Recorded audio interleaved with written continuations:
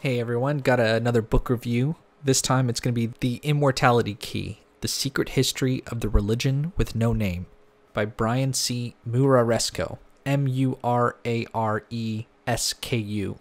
Really good book. I say that about all these books, but um, I do mean it every time I say that. Well written, clear.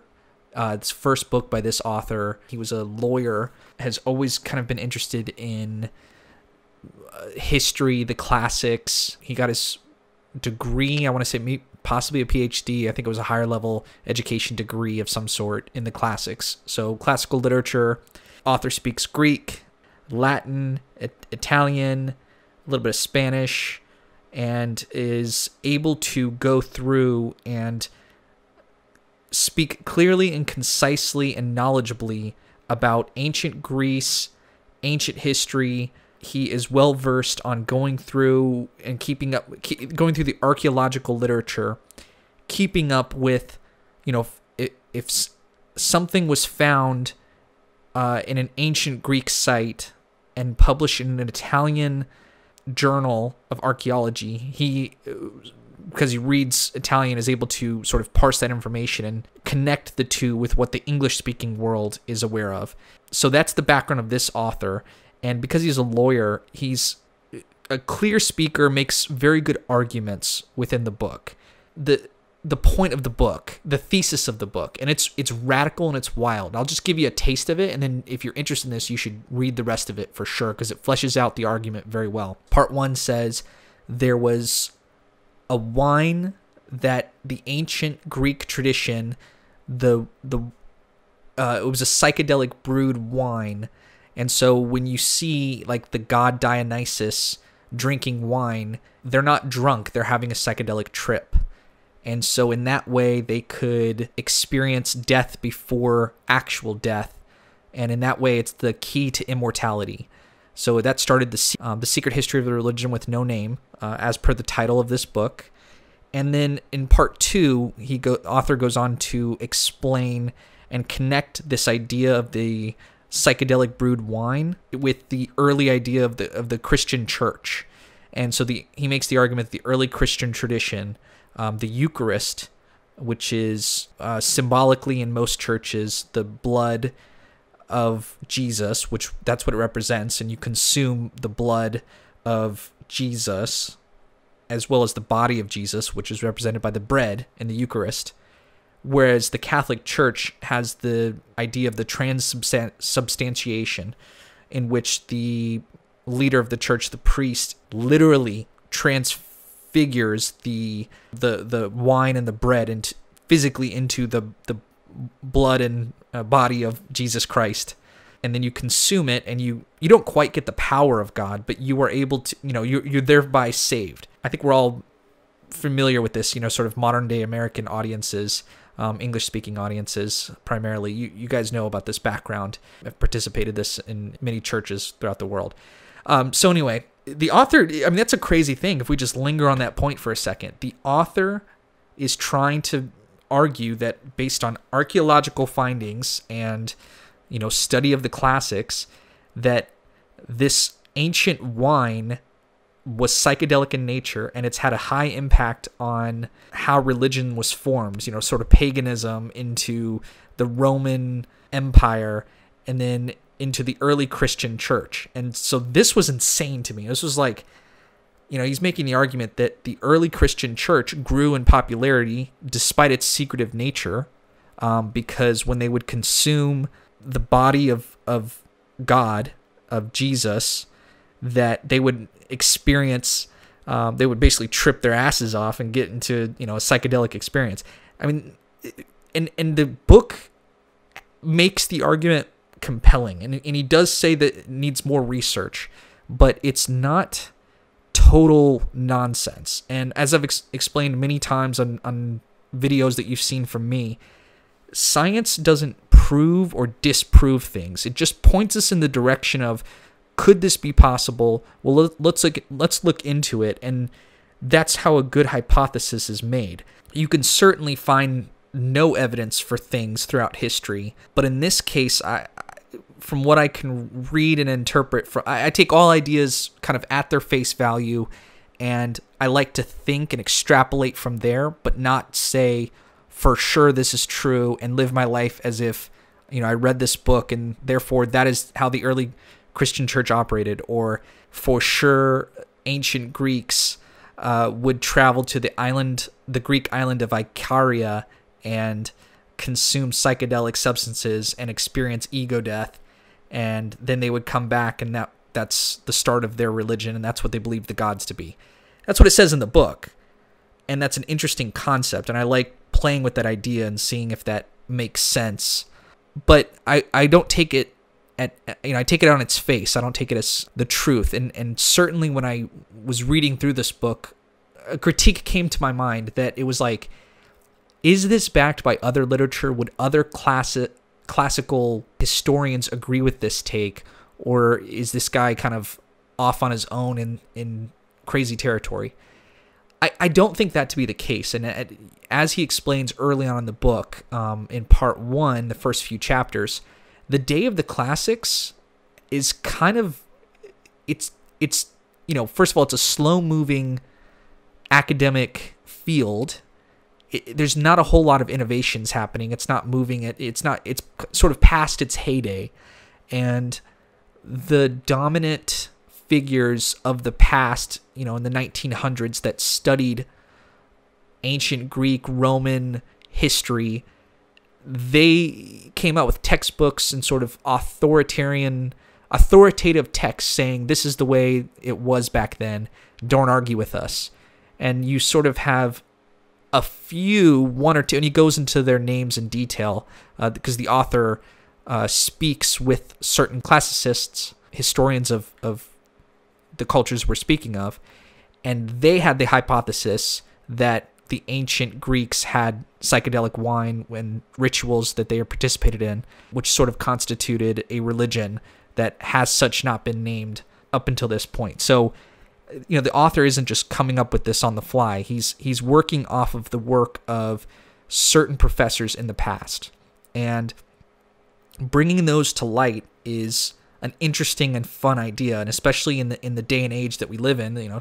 Right now it's 2022 as i record this. This book was published in 2020 and research on psychedelics is is happening. Um it's that that kind of got my mind going too. It's like is this we're talking about all of history. So did psychedelics were they highly used back in the day? Intentionally used? Or is this just a fun book to read in this moment because psychedelics are sort of talked about more than they were since the 60s and people are sort of comfortable with the idea somewhat of okay maybe ancient ancient people sat around and did psychedelics and then found out the secrets of the universe. And then you know it's how they gave us so much to our culture that contributes to the world today okay, allow me to take a step back and explain how I was introduced to this book and where I, you know, found it in the first place. So I found this author. I listened to him on a podcast before uh, some minutes into the podcast. I found the topics he was covering to be very interesting. So I picked up the book and I read it, and it was amazing. So that's why I'm sharing the ideas on this channel. I found this author, Brian C. Muraresku, on Lex Fridman's podcast um, after I listened to um, American Cosmic author, last name Pasulka. And she was very interesting. She talked about religion and UFOs. And I found this individual, uh, Brian, um, and he started off talking about ancient religions and religious ideas in general. He spoke about, him and Lex Fridman spoke about mystical traditions, um, how to participate with divinity. What is the ancient thought process on how they communicated with the ancient gods? You know, what were they? Um, how did they participate with those beings that were divine, with um, the things that are more powerful outside of your mind? And so when I started hearing this author discuss these topics, I thought that was just extremely interesting because in modern day viewpoints, we are not in touch with the divine. We are, uh, you know, something that is beyond ourselves is sort of grounded in reality. It's maybe pictures from space, like the Hubble telescope, um, or maybe it's things that happen on a large scale environment. So things that affect countries or politics, or things that affect large groups of people, like some a popular movie that kind of gets popularity among the people. That's what people are interested in. Those are things that are above our individuality. Um, oh, I guess that's another thing worth saying is that individuality has become, you know, what's what's the end user experience like, and we all put ourselves in that seat. So, you know, social media is catered to the individual. So we spend our time on sort of, we don't spend a whole lot of time on on how to get in touch with higher spirits, higher beings. Do they exist? Uh, modern day you know more people are knowledgeable about things that happen in the world and because we have more input going on from outside we have lost the ability to believe in miracles because physically they don't seem to be true. So when you read a biblical story, let's say you're you're living in the 19 in in year 1900 and you either read the story stories from the Bible or you hear someone in church, like a preacher, speak about the stories from the Bible, you're more inclined to believe them because your amount of data that you can, you don't know what ancient Jerusalem was like. You don't know what um, the ancient Egyptians were like. You don't really have a good grasp on history. But today, with the internet and with the way media, the landscape is, you can pick up on more and realize that okay, when Jesus Christ in the Renaissance you looked a certain way um, because there were Renaissance painters that painted the all the Bible, all the stories from the Bible per the Catholic Church. So the most popular, you know, the Renaissance, you have people with a little bit more free time. It's still in the medieval ages, but it's right after the medieval ages, right before the age of science and reason. You had this weird period mostly set in in Europe, uh, Italian centric, the Renaissance, where you had Leonardo da Vinci in around year 1500, who uh, starts coming up with all these, you know, isn't limited by science yet, and is sort of fueled by the church to paint, to draw, to commission a lot of artwork, which happens to be you know, the Catholic Church is the one with all the money and all the sort of attention from all the crowds and the people that show up service, you know, mass uh, every day or at least a few times a week.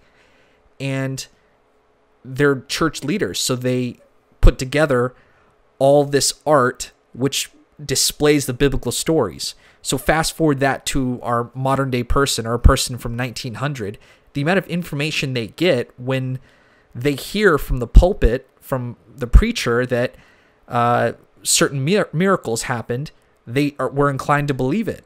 And up until you know the 80s or 90s or early 2000s in America, religion and church attendance was sort of rising or was steady. But since kind of millennial generation has been around and grown older, I think fewer, that's my generation, fewer of us go to church and that loss of community. And I think some of it has to do with you have more information, you have the internet out, you can um, verify that miracles do not happen in modern day world. So we've lost touch with divinity. So when people speak about topics of how the ancients thought about things before the age of reason, I'm inclined to listen in on those conversations. So in this podcast that I heard, mystics see all things with God and sort of see God within all things. They encounter divinity within, which is something I'm interested in because um, I really sort of resonate with Buddhism, and Buddhism is, you know, I've I've felt uh, anxious and depressed, and you know, normal range of emotions that have you know, I've kind of been lost in moments of my life and I look around for how do how does someone get through these very negative times? How do you get through the bad times? And a lot of people do it through religion, and religion, a lot of it is the community aspect. I've never been inclined to seek communities when I'm feeling uh, negative emotions. I tend to prefer to look inward and say, what can I do differently? How can I either focus on the problem or focus on solutions for the problem or learn to not focus on the solution? So, you know, if you have constant intrusive thoughts of a negative nature, um, whether it's like you know I hate people or this per- person's annoying or I hate myself or I don't like the way I look, you know, all these things that these intrusive thoughts we have about ourselves that don't really serve us. How do we help solve those? And something about that is looking outside of yourself, getting in touch with a spiritual nature. And that, that is the use of religion. And that's something that we've lost, um, sort of modern day American culture as a whole. Um, that's what Encounter with Divinity Within, um, Buddhism in particular, uh, speaks to that. And there's a whole Eastern tradition about that. Um, they they spoke about in this podcast between Brian and Lex archaic techniques of ecstasy. Um, how do they? How do people die before they actually die? that, that was a big theme of what they talked about because death is imminent. It it's looming. As far as we can tell, 100% of it happens to 100% of people. How do you face death head on before you actually, you know, faces. So is there a way that you can get in touch with what happens after you die? Can you get, you know, a, a certain you know, I'll take Buddhist thought on this is the the soul of the essence of the person is still around even after their body dies because you're thinking you know you're a you had a family friends you had an impact on this world and those people will remember you after you um, physically die and they believe that kind of they don't really believe in time. Uh, if you get really deep into buddhist uh, philosophy they think time is sort of a point in time. And we, the way we're experiencing this is through a lifetime that feels you know 70 80 90 years. But in reality it's just one point and all things happen simultaneously. But um, the the ancient greeks had their own view on this. So eternal mysteries that are the center of our being um, the upanishads spoke about us as the creators of the universe and the author and Lex Fridman spoke about how our ability to engage in meditation is a part of our divine nature. It's getting in touch with our spiritual self. We are the creators of everything we see around us by virtue of the fact that we're sitting, living, seeing, breathing individuals. We are in some respects conjuring the world around us, um, or at least looking at the world around us, and in some ways we're interacting with it, and that interaction is an act of divine creation, which I think is a very interesting idea. There are a lot of mystical traditions um, about unlearning.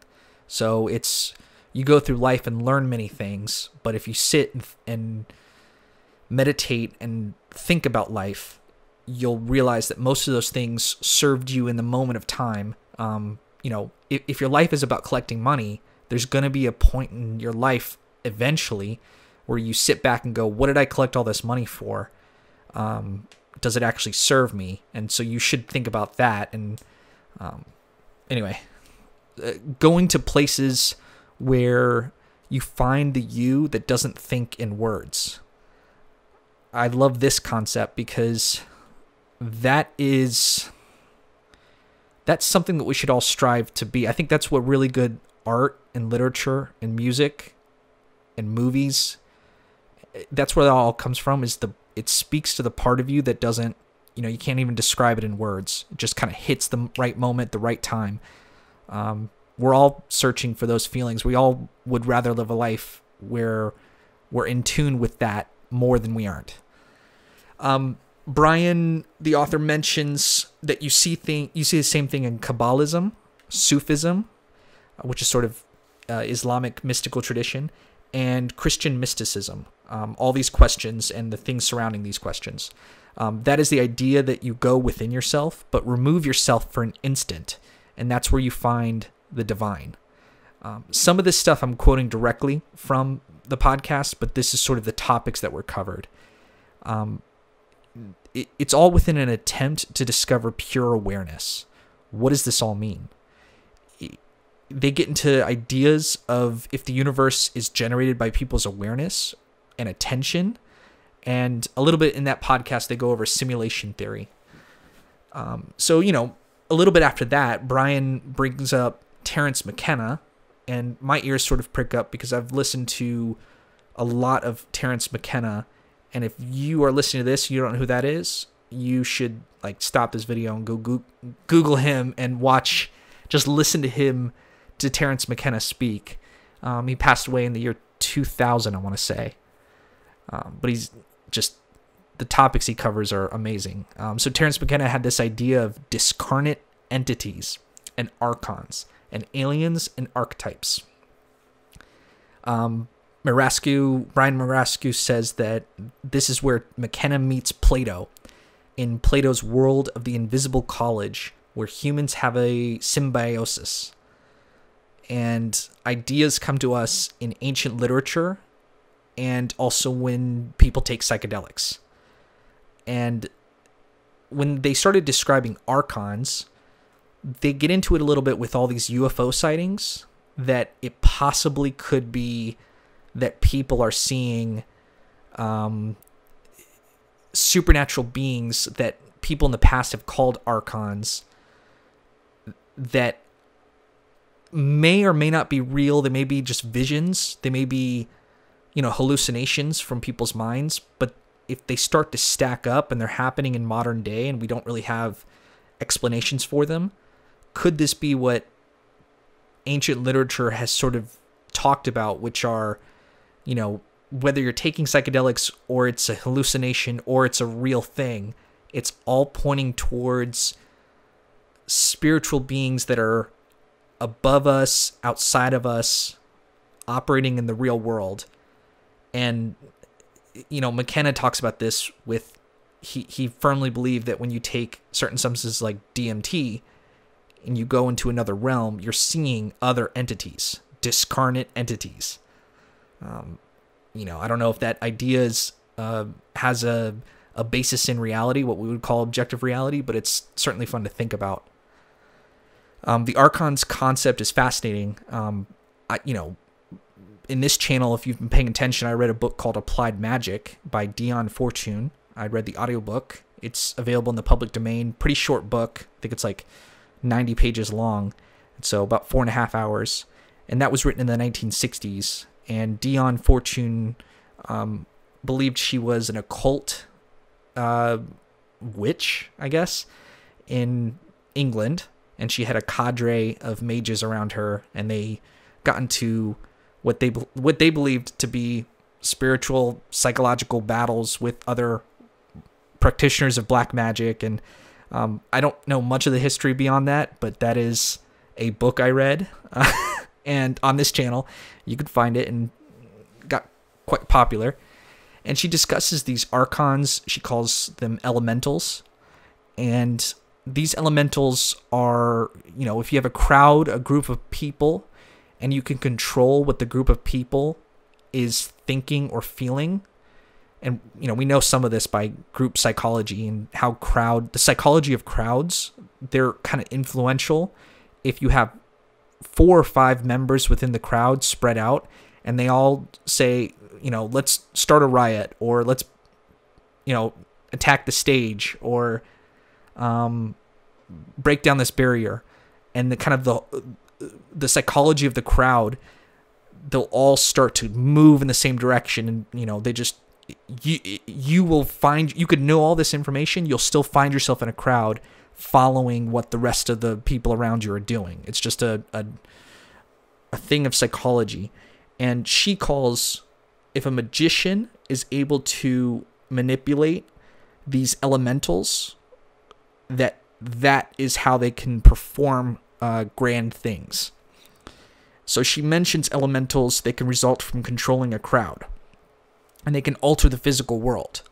Um, I find this an interesting concept. Even if you take all the woo woo BS out of it, um, there's something very interesting occurring when groups of people get together. Um, something interesting in the psychology of crowds, and that the fact that they're very suggestible. Um, the author Brian then ties what one sees on psychedelic trips as seeing. He sort of puts this idea out that what Plato was talking about with Plato's archetypes, um, roughly speaking, uh, Plato had the you know the world of reality versus the world of ideals.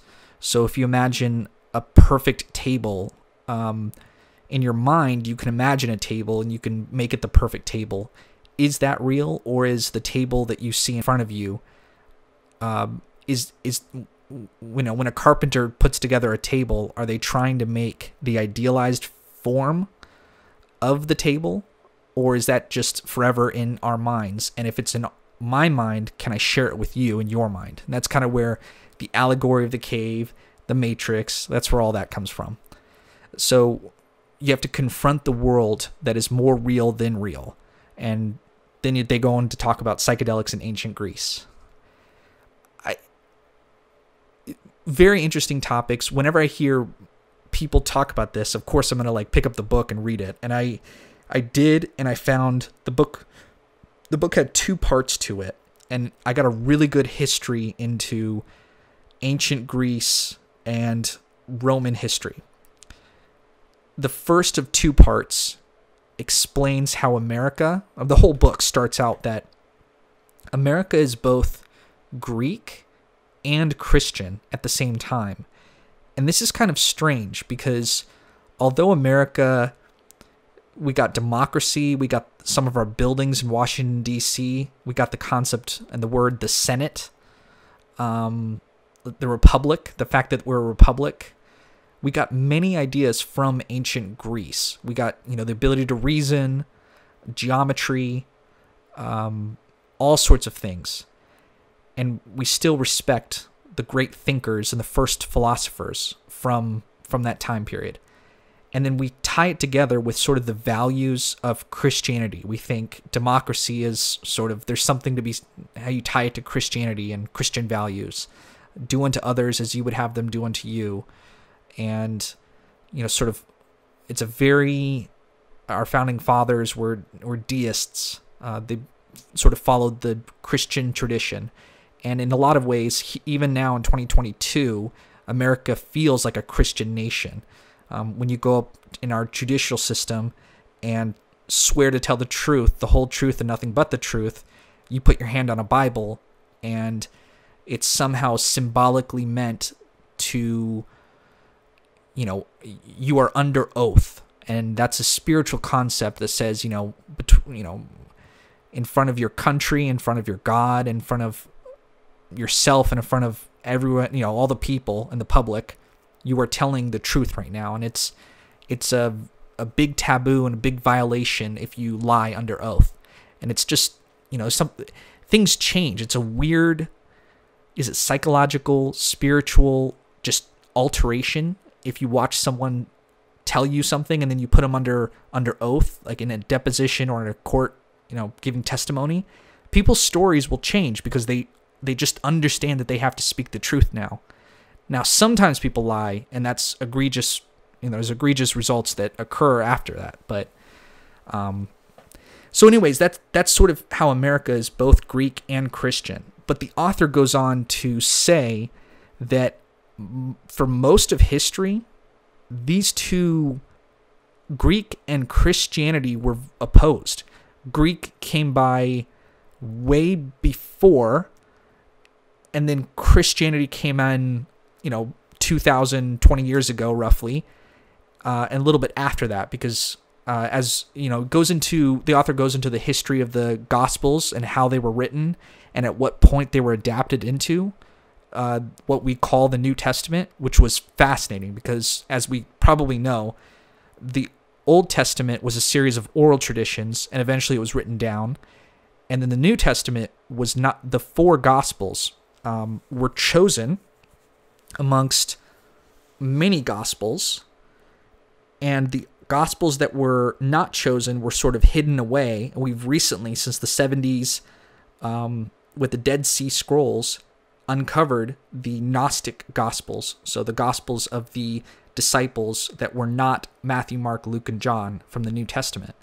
And so the New Testament doc, um, the four Gospels, were written about a hundred years after Jesus died. So they were sort of a a mythological um, a, accounting of, but written by people. So the people that wrote it down got the account from the disciples who were around Jesus, but it was you know it's at least twice removed at that point. and then it was written in the majority of the New Testament was written in Greek, but then it was translated to Latin and then it was stayed in Latin for many years before in the 1600s it was translated to English and then it was Old English that's sort of the King James version of the Bible where all the modern day um, translations of the New Test of the Bible were translated from you know into New English um, so they have the New International Version of the Bible so you have Christian values which the Catholic Church which first started to become a thing in around year 350 AD. Now, the Catholic Church was around before that, but that's when they were, um, you know, Emperor Constantine uh, made it the official religion, and it changed, became much more institutionalized, and became the massive, you know, number one world religion that it is today, uh, because of the Catholic Church, because of the Roman Catholic Church. And the the interesting part is that the Romans were you know the early Christian church it was a secret religion. It was an underground religion. And it wasn't um you know, it wasn't popular. It wasn't it, it was it was uh me, kept secretive. And it, it had nothing to do with the ancient Greek tradition. That was sort of the ancient Greek tradition led into the Roman uh, Empire the Roman Empire was sort of opposed to the Christian Empire. But then, as I mentioned, around year 350, the Roman the Roman Empire adopted Christianity as uh, the the dominant religion, and it went from there. So that is all to say that the early Christian church probably looked a lot different than the Catholic Church that we have today, and then of course all the Protestant, um, you know, schisms that happened off of off of the the main church. So America is sort of influenced by both, and we think the, that both historically were tied together when that's not actually the case at all. And if you look back into history, the two were very different up until about year 350. And then since then, the two have been merged together and it creates modern day America in the 1700s. But um, the, the two ideas were very opposed. So finding the part one, he talks about finding the history of the Greek kykeon. So the kykeon was this secretive um, drink that not many people knew about. Okay, if you watch the movie 300, there are the oracles of Delphi, and they're sort of mystical beings that took psychedelics and gave they had visions and that's sort of known about but the author points towards ancient Greek literature, um, stuff on potteries, on pottery, ancient texts, various sources that are uh, noted in the book, and he ties together and says the Greeks probably believed that wine it wasn't to make people drunk; it was a psychedelic in nature, and so they called this the kykeon, and it worked. Uh, he came about this hypothesis working off of other people in the classics tradition. And it was how people died before they actually died the many famous figures in greek history attended secret rituals on the island of icaria and you know like people like marcus aurelius or um, certain greek philosophers uh, pythagoras people like that uh, they all went there, like the celebrities of the day, and they all went to this one island and died before they actually died. They all had a psychedelic experience drinking this wine. So he he puts together evidence of there, and I'm I'm not educated to know whether he's right in that, but I know it's just an interesting idea, and he he does do his due diligence, and um, you get a little history lesson um, from it too. All right, part two, um, and then we'll wrap up the video. So part two ties the idea of psychedelic, this psychedelic kykeon, to the early Christian church. And then the author goes on to say that this was wiped out by the Catholic Church, the institution. Um, really interesting proof in the book, but I will say this is such a radical claim that I was not convinced by it. I think it's highly interesting in 2022 to make a radical claim that you can track between the ancient uh, practice of psychedelic wine and consumption to the early Christian church through using the Eucharist. Um, and they said, you know, if you drink the blood of Jesus, you will experience divine power and be able to see God.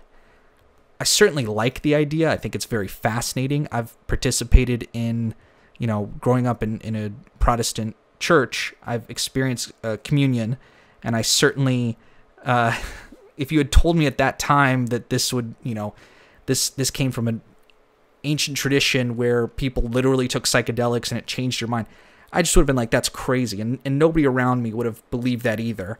And so it's it's really hard to prove a hypothesis like that. It's very enticing, and that sort of makes me skeptical in a way because it's it's almost too crazy to be true. Like there's almost no way that early people were taking drugs underground and then it became the national religion. But it's certainly fun to think that way. I'm, I've never heard of this hypothesis elsewhere. Um, so, sort of, for me, the jury's out on part two.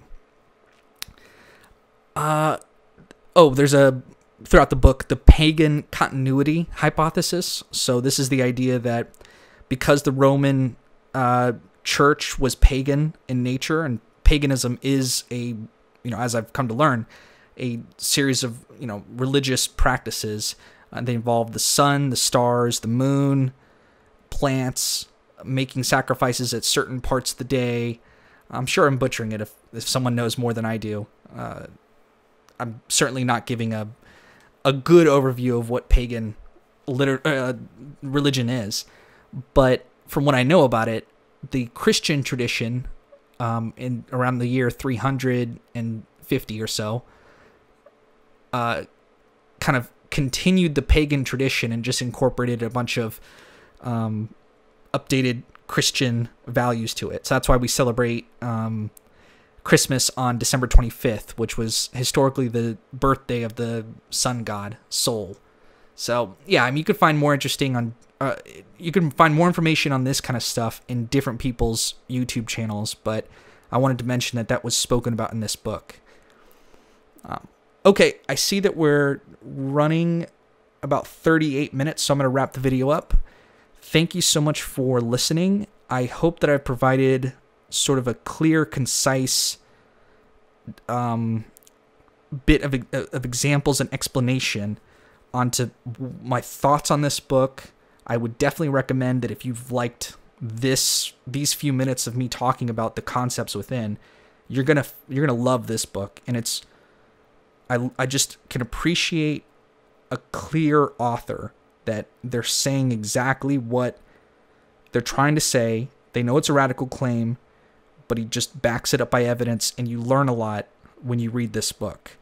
I would highly recommend it. I give it like a five out of five it does go into repeating. The author repeats himself at certain times. But when you're making radical claims, it's sort of helpful to keep you into the book. Um, I I picked it up and read it over vacation, and I I couldn't put it down. I had it done in like a few days, so it's a, like 440 pages, and I hope you enjoy. If you have any comments or questions, um, if you want me to go into you know more clarification on things, I'd be happy to do so. Please leave a comment below. And thank you so much for your attention on this. All right. See you next time.